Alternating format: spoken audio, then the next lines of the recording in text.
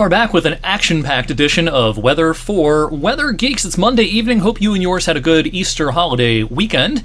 Our weather was decent enough on Easter Sunday, and uh, today has been kind of, you know, kind of gloomy with uh, some rain this morning and a lot of clouds for this afternoon. We're going to do more of a March review and a look at the longer range forecasts in future editions of this video this week. But we've got so much active weather in front of us for the next day or two that we're going to focus mostly on that. We'll just do a quick review of today's numbers.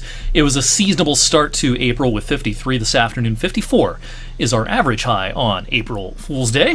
2010, we had 83 degrees for the record high, and it was 14 for the record low back in 19. 64. All right, next couple of days, really the next 24 hours or so, very, very active as low pressure winds up across the Mississippi Valley and into the lower Great Lakes. This evening we have ongoing severe weather from the oh uh, parts of the uh, Ohio Valley back through the Plain States into the Missouri Valley. Uh, severe thunderstorm watches and tornado watches run from central Texas all the way up to St. Louis and into parts of Illinois this evening. This is part of a broader risk for severe weather that takes us through tonight from uh, Texas all the way to about Cincinnati and Marietta in southern Ohio. Our risk for severe weather is relatively non existent around here tonight and into tomorrow morning, but then things will begin to change. Now, in addition to the risk for most of our severe weather modes over the next 24 hours, there's a zone where we're probably going to see too much rain over the next 24 hours or so. We've already had quite a bit of rain, and there's more where that came from. So flood watches are out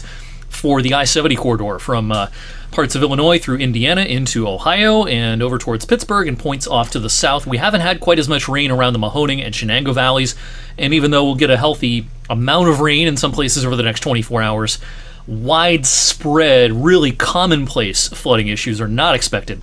There can be some localized instances of flooding. Now, this is the big story for tomorrow. You know, you never want to single out other uh, meteorologists in the weather enterprise or entities in the weather enterprise, but last night's day two severe weather outlook for Tuesday was a little bit weird. Um, they shifted a lot of the risk areas to the south instead of to the north, and so uh, we woke up this morning to kind of a ho hum looking map for day two across most of Ohio and western PA.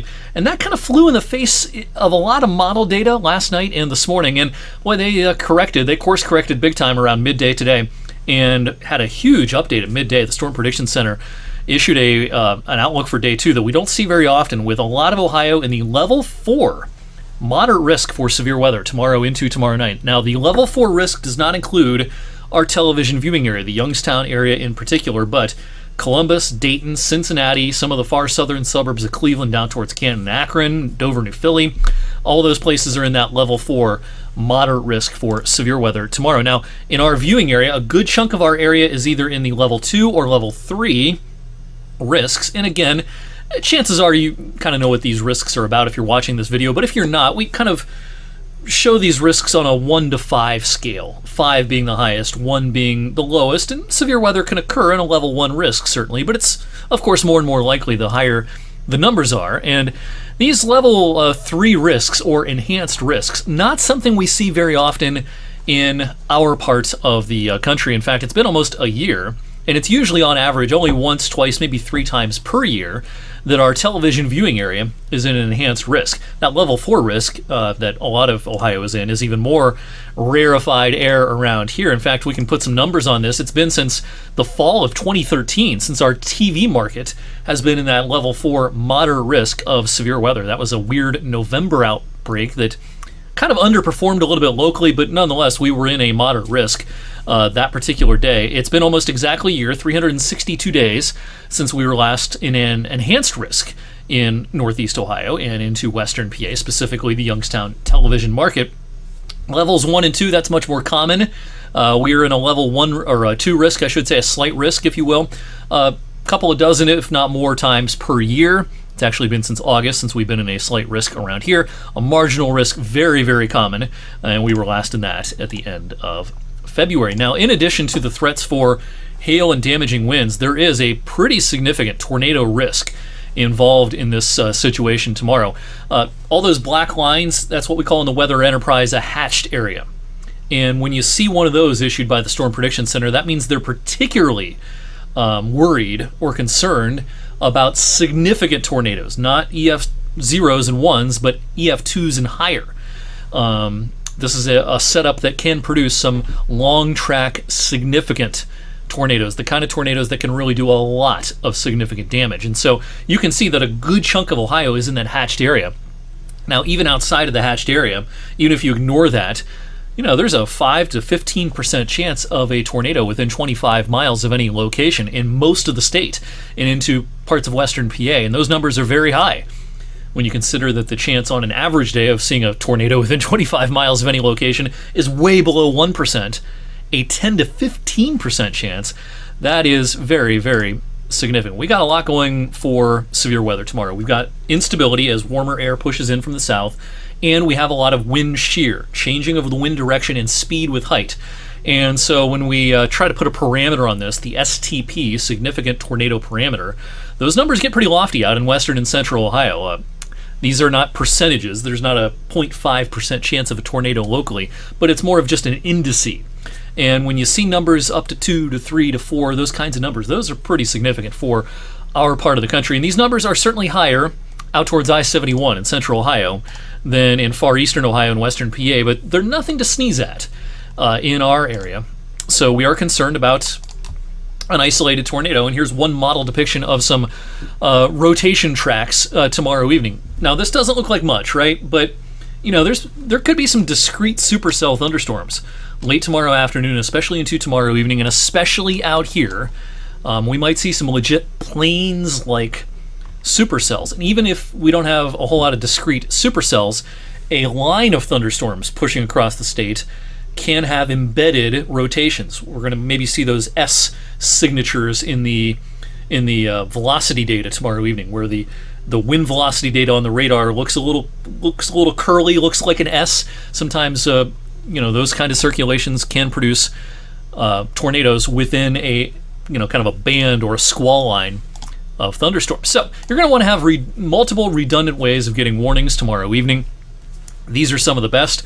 We always recommend people have a NOAA weather radio. The penetration of NOAA weather radios in our part of the country is not nearly what it is in places like Alabama and Kansas. But still, they're available around here. They're available anywhere online. They're relatively inexpensive, and they're kind of like a you know a smoke detector for severe weather. They're they're relatively fail safe. They don't rely on a cell phone signal. Um, they can be on battery power um, if the power goes out. Um, the StormTracker 21 app, make sure you have your push alerts turned on. Make sure WEA, Wireless Emergency Alerts, is activated on your phone. And of course, if we have ongoing severe weather or even a heightened threat of severe weather, it looks like it looks like we will, we will launch some live streams tomorrow evening. And if we have tornado warnings in our area, we'll go live on television. So the setup tomorrow, a warm front pushes in in the morning. Now we'll get wet tonight into tomorrow morning, some rumbles of thunder, maybe even some bouts of pretty heavy rain for a time. Um, that's with our warm front pushing in. Then we get a break for the midday and into the afternoon. Now, as we go towards late afternoon into tomorrow evening, this warm sector is very impressive. It's going to be kind of muggy, especially for this time of the year. We're going to have a lot of wind energy aloft pushing in along what we call a low level jet, and anything that gets going in that environment will uh, have a lot of potential. And I think this potential will probably be maximized right around sunset tomorrow evening. So, again, anything in here we'll have to keep a very close eye on. And while the threat is certainly highest to our west in places like Columbus, Cincinnati, Akron, maybe, um, the threat around our area is nothing to sneeze at. We've got to stay weather aware tomorrow evening. Now, this cold front's a doozy. It pulls through, and then spring mode is over. The rest of the week is blustery. It is colder. Um, temperatures kind of hold steady-ish on Wednesday. There'll be some rain showers around for a time. Not a lot of rain, I don't think, on Wednesday, but just kind of a raw day. And then, yeah, I think the air mass will probably be cold enough to support a few wet snowflakes mixed in with raindrops at times um, Thursday and into Friday and maybe early Friday night as well. Now, of course, the snow would not add up, add up to much here locally. Maybe occasionally, maybe a dusting on a on a car top or something. Um, maybe up in the hillier terrain, up in the primary snow belts of northeast Ohio, northwest PA, on the grass, maybe there's a small accumulation.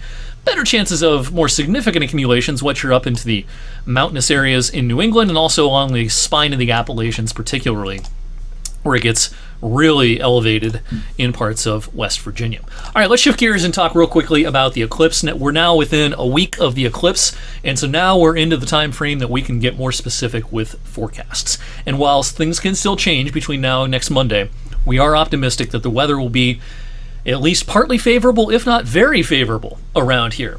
Um, it, will depend some on the thickness of what I think will be a deck of high clouds. This is a model depiction of the clouds right around time of maximum eclipse, about 3:15 next Monday afternoon. This is the path of totality, of course, and there could be a pretty favorable corridor, especially say like this.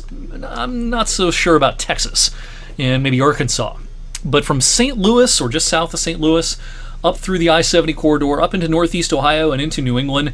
Any cloud cover that's around is probably going to be of the high, thin variety. And if that's the case, that will not spoil the show. Now, of course, we would want it to be just crystal clear, but some high, thin clouds would not be too big of a deal. So, our first kind of official forecast, if you will, for next Monday around eclipse time, about 59 or 60 degrees. Again, in the path of totality, the temperature might drop a few degrees during totality. And right now, our rain chances very minimal. Because it's a week out, we're not going to say zero, but we may take these to zero at some point if the model uh, trends continue over the next few days. And just a reminder of who's in totality and who's not. Uh, we're going to keep talking about this over and over again this week. Um, who's who's going to have the best show and who's not. Generally speaking, it's a good chunk of Trumbull, western and northern Mercer, and far northwestern Mahoning. The rest of us, 98, 99%. But as I've said many times before, there's a big difference between being a 99% totality and 100% totality. 100% is where you want to be. It'll range from 30 seconds of totality on the southern edge in Trumbull County to northern Trumbull County, northwestern Mercer. You'll be in totality for up to a few minutes. And up near Cleveland, it's more than three minutes. Akron, over two minutes as well. So again, we're optimistic that the weather will cooperate. It doesn't look like rain at this point, and at worst, we might have some high clouds, but probably not the lower clouds like we had outside today. But we'll keep updating the forecast throughout the week. We'll keep updating Tuesday evening's outlook on social media, on all of our outlets, and including our newscasts over the next 24 hours. And of course, we're going to be your source for the most in depth coverage, most detailed coverage, and the coverage that is most likely to keep you safe if we do have an outbreak of severe storms Tuesday evening. Thanks for sticking with me on this long edition of Weather for Weather Geeks on this Monday evening. Have a great rest of the night. I'll see you back here on Tuesday.